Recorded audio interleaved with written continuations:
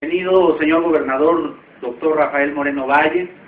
Buenos días, presidente de Volkswagen México, secretario de Infraestructura, presidente municipal de Cuautlancingo, de Coronango y nuestra delegada de Capufe.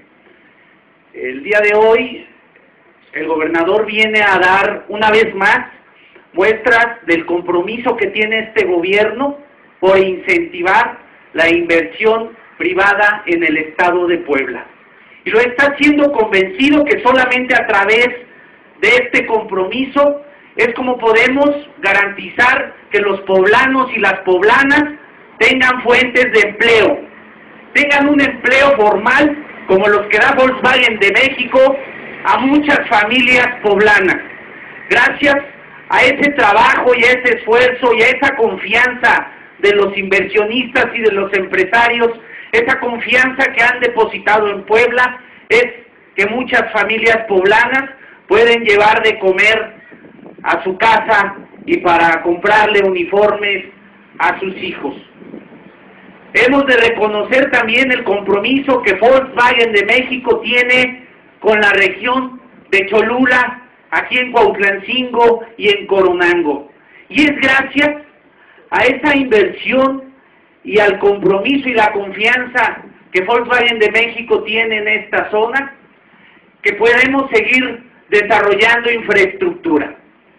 Y como muestra también del compromiso que tiene el gobierno del Estado, el día de hoy inauguramos los trabajos de obras de drenaje, pavimentos y señalización en la zona, que también beneficiarán a las otras empresas que están asentadas en este corredor industrial.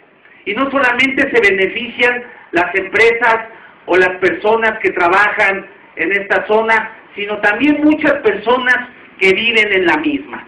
Muchas personas que viven, por ejemplo, aquí en Casargeo, en Ocotlán, en San Lorenzo o Almecatla, se benefician con estas obras de infraestructura, reduciendo tiempos de traslado, pero además mejorando las condiciones de vida de sus familias.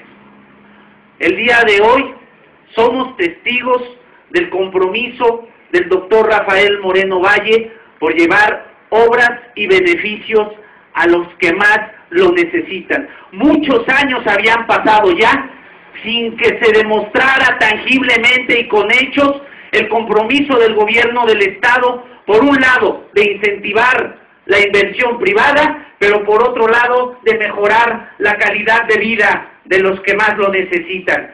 Y este compromiso el gobernador lo está llevando a cabo sin distinguir colores ni partidos políticos.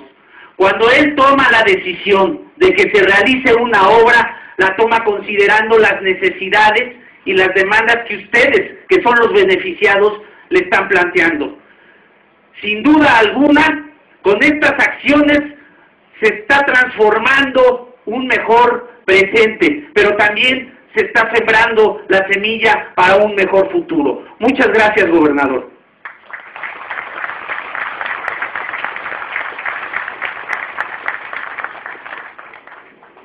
Sean tan amables de tomar asiento.